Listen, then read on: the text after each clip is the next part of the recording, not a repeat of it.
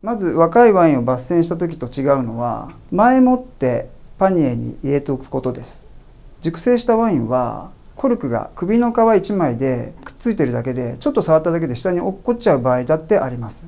でももし斜めにしていれば落ちにくいです。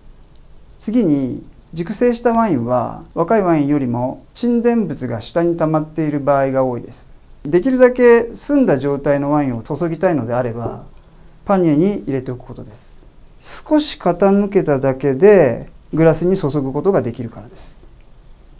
では実際に抜栓していきます。若いワインと違うのはまずキャップシールは全部剥がします。こうすることによりまして中のコルクの状態が分かりますので例えばこのコルクは乾燥して痩せてるな十分に液体が染みてるなとか分かります。開けてる途中もどのぐらいまで抜いているのかが分かります。次にトーションを濡らした状態にして輪ゴムをします。そしてこの状態をちょっと維持します。蒸らします。この間に何か必要なものを取り入ったりとか違う作業をしてもいいかもしれない。そしてこれを取ります。そして拭きます。これによってより中のコルクの状態が見えるようになります。ソムリエナイフのスクリューを刺していきます。ここからが最も肝心なのですが普通はど真ん中に刺しますが熟成したワインの場合には一番端に刺します。そして対角線に斜めに入れていきます。より一層コルクをホールドするからです。そして回していく方向に力を入れます。決して下に押し付けるようなことはしません。そして先端を貫通させます。そしてちょっと戻します。これによって空気が中に入りました。これ場合によってはチュルチュルっていう音がしたりあとここに泡が見えたりする場合があります。これは中に空気が入っているっていう証でもあります。よくコルクを上げていく途中で最後の5ミリぐらいが残ってしまったという場合がよくあります。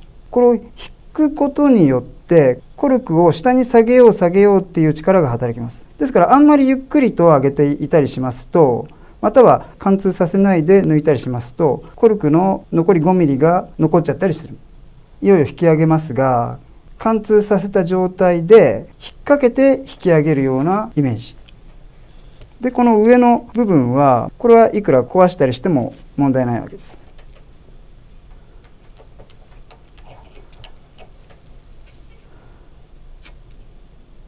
抜きました。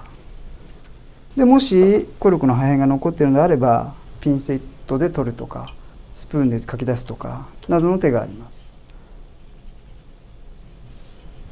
できました。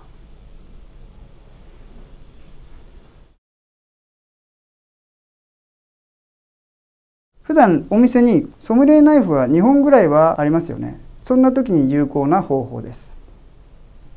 キャップシールは全部取ります。これは貼り付いてますね。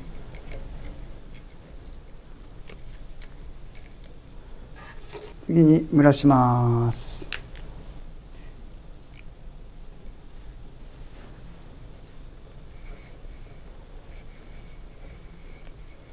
やはり端から刺して決して下に押さない。で斜めに入れていきます。で貫通させます。この状態であんまりにもコルクがボロボロの場合にうまく抜けない場合があります。そんな時にもう一つのソムリエナイフを使います。やり方はもう一本入れていくというものです。こんな感じです。